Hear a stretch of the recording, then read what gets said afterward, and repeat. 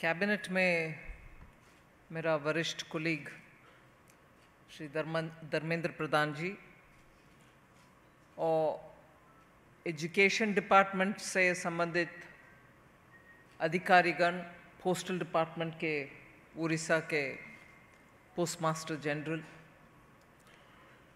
और भुवनेश्वर और अन्य भागों से आए हुए उड़ीसा के वरिष्ठ नागरिक thinkers leaders in the society पुनः आप सबको धन्यवाद नमस्कार because it's a question of language and my acquired knowledge of Hindi wouldn't be adequate to say what I want to say. Pardon me, I'll speak in English. The new education policy is a very progressive policy. It's a result of so many, so many different people putting their minds together and extensive consultation. I'm not sure if there is any policy made in any country which has gone through such rigorous consultation as the NEP. And even after it was put in public domain, the inputs which have come have been gone through with similar rigor, and the policy has been fine tuned, polished, refined, and we have an excellent policy in front of us. A singular feature of that policy is that it is a flexible policy. It's not something which Delhi decides and imposes on all the states. It's a broad framework. And then the states are left to adapt it according to their requirements. And that's where the language and its emphasis comes into play. India has always had this grievance that at the cost of building knowledge in English or proficiency in English, are we reaching a stage where we are forgetting our mother tongues? We reach that stage, a lot of discussion happens on that. And there's always been this question of three language po policy, whilst most Indian states have agreed to implement three language policy. There are some which don't want a third language, so that is one side of the story.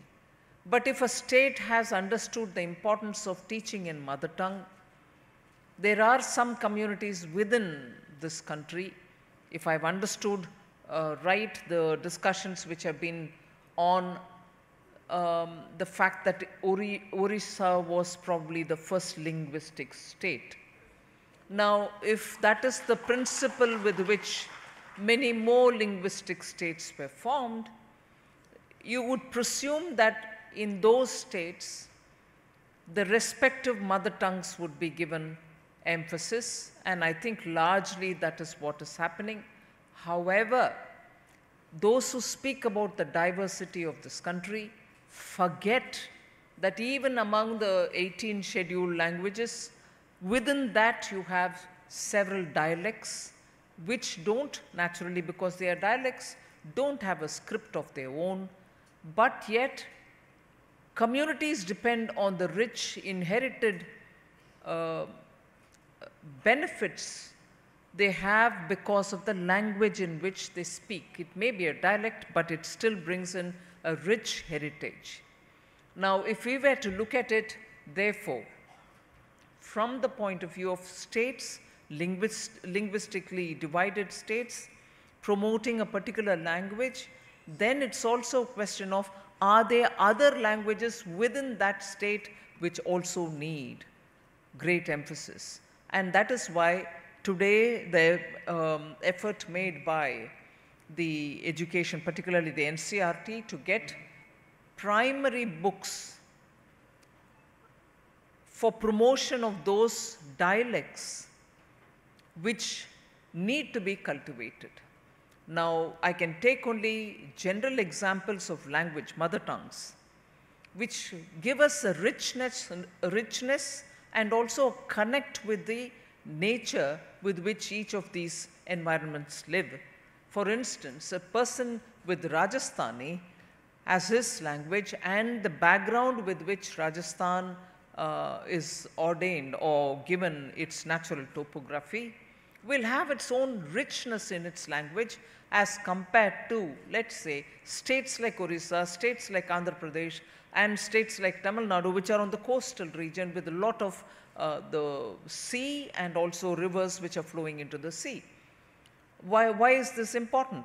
It is because the kind of idioms, the kind of expressions that you use, the kind of comparisons that you can make are all derived from nature driven examples. So, a, a, a, Rajasthani language would have so much for the desert, whereas we in the coastal states would have so much for the sea. Colors and smell, if you have to explain to a child, are derived from local examples. And therefore, it is important to have that rootedness, that connectedness to the nature, which is what we live with every day. And that gets passed through the filter of language.